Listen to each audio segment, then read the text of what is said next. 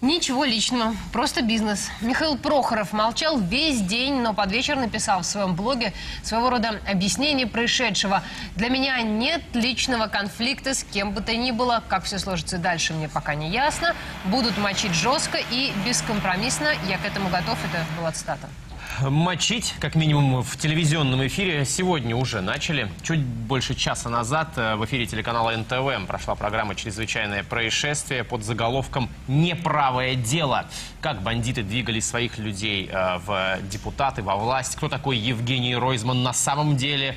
Э, за что судим, как воровал и что в действительности происходило в его фонде по борьбе с наркотиками. Это сейчас цитировали анонс этой самой программы программы.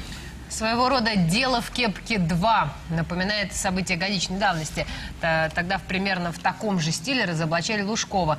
Компромат на правое дело посмотрела наш коллега Лола Тагаева. Ей слово. Лола. Коллеги, добрый вечер. Я предлагаю сразу же посмотреть анонс передачи, которую сегодня весь день крутили по НТВ. Она называется «Неправое дело». Кто такой Евгений Ройзман? А, суки! За что судим? Как воровал? Бандюки, понимая, что у них будущего нет. И что в действительности происходило? Приковывают или наручниками, или чаще всего к ноге цепью. В его фонде по борьбе с наркотиками. А, да, а, сам сюжет начинался с того, что съезд партии прошел без Прохорова, которого сместили. Виноват, как выяснилось, Прохоров в том, что не прислушался к мнению возмущенных десятков тысяч партийцев, которые протестовали против Ройзмана. Кто такой Евгений Ройзман? А, суки! За что судим? Как воровал? Бандюки, понимая, что у них будущего нет. И что в действительности происходило? Приковывают или наручниками, или чаще всего да, и тут э, могильный закадровый голос моментально связывает Ройзмана с преступной группой «Уралмаш», которая пыталась легализоваться и стала общественно-политическим союзом. Ройзман стал руководителем фонда не без участия э, Александра Хабарова.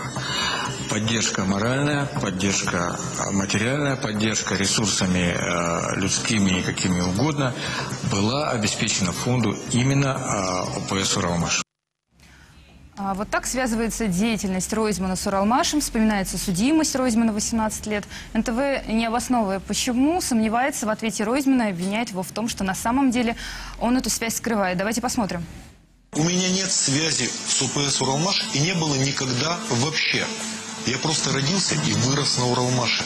Я знал всех лично. Ну, у меня в одной школе со мной учился, в одной школе со мной учился Гриша Цыганов. В другой школе со мной учился вор в законе Трофа. На одном, стадионе, на, одном стадионе я тренировался с Александром Хабаровым. Э, и что теперь? После чего Ройзмана обвиняют в том, что фонд против наркотиков создавался, чтобы, внимание, контролировать наркоманов. Показывают, как Ройзман жестко борется. Все это, как мы слышим, озвучивается фирменным голосом, полным праведного гнева. Ответ Ройзмана опять подвергается сомнению. Собственно говоря, э, город без наркотиков – это люди, которые объединились для борьбы с наркоманами, а не с наркоманией. Это вот здесь, мне кажется, это очень важно. Общеизвестный факт, что наркоманов сюда привозили силой и держали здесь месяцами. Это оперативное видео ареста директора фонда Кабанова. В этом деревянном доме с решетками женское отделение. Методы лечения пациентов всегда вызывали у правоохранительных органов массу вопросов. Когда тебя туда привозят на 27 дней, приковывают или наручниками, или чаще всего к ноге цепью. Лозунг фонда «Не капли жалости». Пациенток заставляли с утра до вечера заниматься тяжелым физическим трудом. Никогда в жизни никого не приковывали к батарее. Раз. Было в свое время, когда пристегивали наручниками. Но я задам вам вопрос. Расскажите, как вы это делаете. Вот вы как спасаете наркомана? Расскажите. Дальше моментальный переход к тому, как Ройзман стремился в Думу. Он действительно получил огромную поддержку в Свердловской области, набрав э, порядка 40% голосов.